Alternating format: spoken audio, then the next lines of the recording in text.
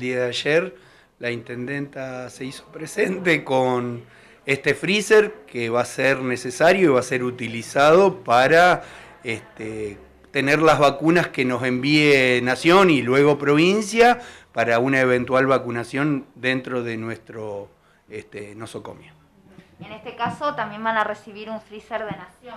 Sí, lo hemos recibido justamente hoy, de las mismas características de este, 400 litros con capacidad este, para albergar aproximadamente 5.000 vacunas cada uno, con lo que, bueno, en principio tendríamos este, lo necesario para tenerlos y conservar las vacunas de acuerdo a las normas que, nos plantean desde Nación, ¿no? Todavía no se sabe cuándo podrían llegar las vacunas a Santo Tomé.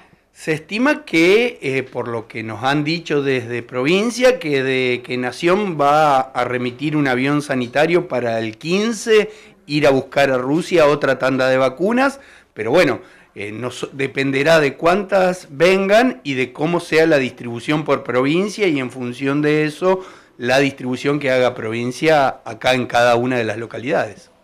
Nancy, bueno, ¿cómo se va, se va a armar el, dispositivo de, vacunación aquí en el SAM?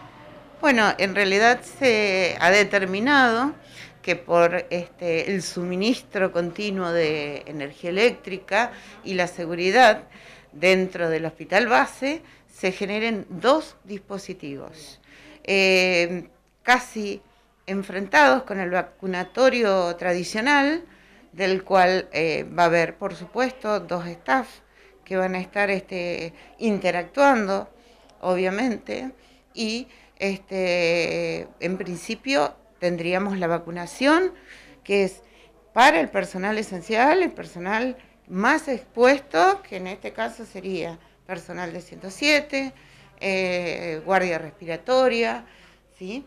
Y bueno, y así sucesivamente iremos en forma escalonada eh, vacunando según las necesidades de riesgo.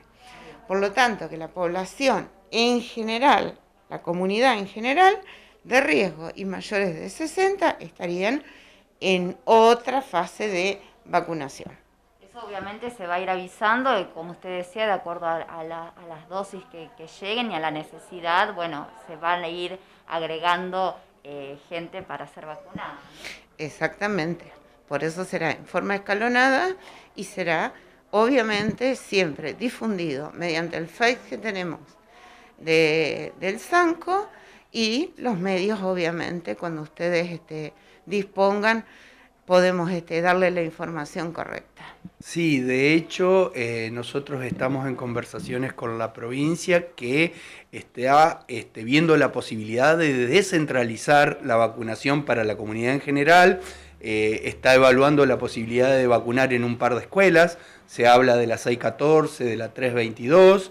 Eh, pero esa, esa estrategia de vacunación extramuros lo va a definir el Ministerio de Salud de la provincia.